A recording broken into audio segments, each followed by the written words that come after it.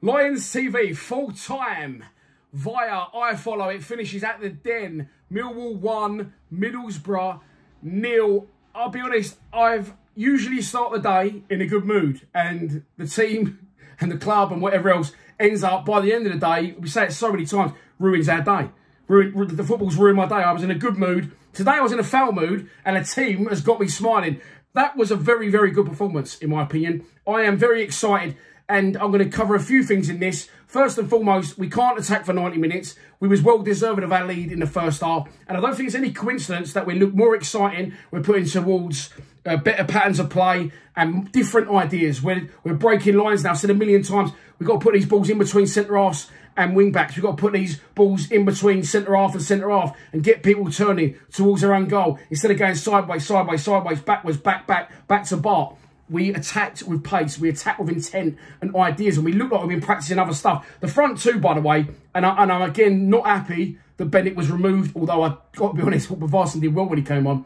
Um, and I'm, I'm glad, he won't be glad, but I'm glad to see, in a bit of a sick way, that Bennett's getting a fucking ump every time he's been removed because he's now scored three goals in six games. And I thought him and I thought Jed, who I always give criticism to, and maybe unfairly, but I demand the best from our best, and that's why I'm always on Jed's bollocks.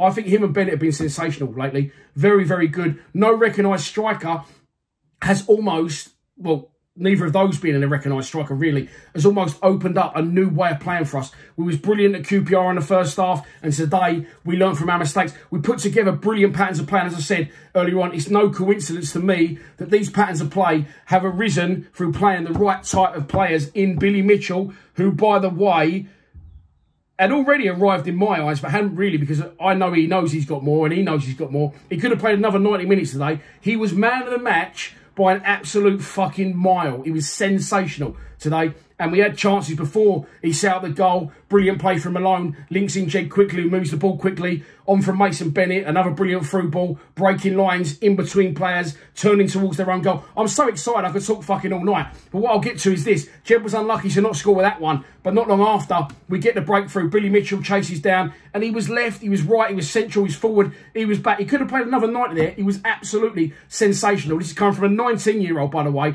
who hasn't ever really played first-team football and hasn't had what I would call a Jayson Molumby type run in the team. I'm telling you now, you will never be calling for Jayson Molumby at this club again once Billy gets a fair run of games. He's just come back from injury and he, he is mature beyond his years. He was man of the match by a mile, in my opinion. Not just mine, loads of people on the live stream, along with Jed, who was brilliant, along with Bennett, who was brilliant until he got removed and did run out of steam. Hutchinson must have headed the ball 350 times. I'll get to our goal in a minute. It's a great tackle from Billy Mitchell. Not only does he win the ball in a position he has no right to be winning in a tackle, he has no right to win. He turns, he moves the ball quickly, which is what we have been doing the last couple of games. Jed's on the hop, bombs down the wing, roasts his man, cuts back. It's, it's, an absolute carbon copy, identical goal to the one we got away at Cardiff. Uh, and Bennett was there at the back post. He probably would have tapped it in. But Jed does the right thing. And we go 1-0 up and we're more than worthy of our lead at half time. Second half, yes, listen, Middlesbrough came at us there, well, before today, they were seven points clear of us, I think, six off the playoffs. Reading haven't won today, so I'm not going to say it just yet. But if we carry on playing like that, but let's get back to Middlesbrough. They had every chance on the playoffs. Of course, they're going to have a Warnock bollocking at half time. He would raise his eyebrows if he had any, but he hasn't. So I just use that joke in the live stream as well.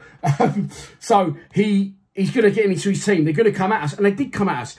But we defended very well. You can't go at teams for 90 minutes. You just can't. And we learn from where we went wrong on Wednesday. We defended. Bart rarely troubled. Two shots, both pretty much straight at him. And Middlesbrough looked, looked lively coming forward. Good players in their side. George Saville coming off the bench. Mendes Lang, troubled, but again, talented player in this division. Scores and has called problems before for various teams, including Cardiff. So I think that we defended very well. You can't attack for 90 minutes. I was disappointed for Bennett when he came off. But I did feel Bodvarsson give us something a little bit different, trying to, and that's why he's put him on to, to to to hold the ball up, to back into players, to drag our team up the pitch. But listen, I couldn't fault any player there today. I thought we they all played really well, all of them. Danny McNamara could have scored a little bit King got booked, had to be replaced by Mahlon Romeo. But even Romeo when he come on, Shaun Williams when he came on, I thought they all did well. I thought Woods had a good game. George Evans, although a little bit keen at time of his aggression, which I'll never knock, you know, kept battling to the end. And I thought we did very well. But Varsity almost scores from a, from a Scott Malone ball. And we're getting back to full fitness. Mahoney was on the bench, didn't come on today.